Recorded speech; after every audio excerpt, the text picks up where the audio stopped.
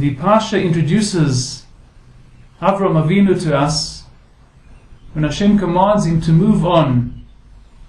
Even though Avram Avinu had achieved very, very much already in his life, a tremendous miracle of having walked out from a burning fire in Ur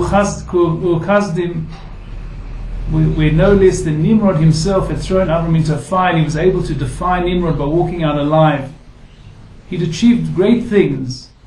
Nevertheless, the Parsha tells him, Move on, Lech Lecha, move on, for then I will make you a great nation.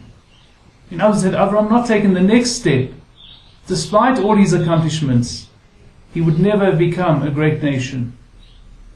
And the message is for us as well. As much as we've accomplished, as much as we've done, we have to be ready to move on. We have to be ready to do new things, new challenges. We can never sit back, sit on our laurels, sit on our accomplishments, and just feel that we've done enough. There is always more for us to do, and we have to do it.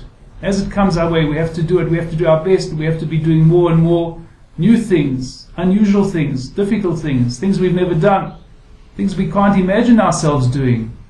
These things we have to take on for ourselves. And moreover, there's another point here, and that sometimes Hashem assists us to do new things by throwing curveballs at us.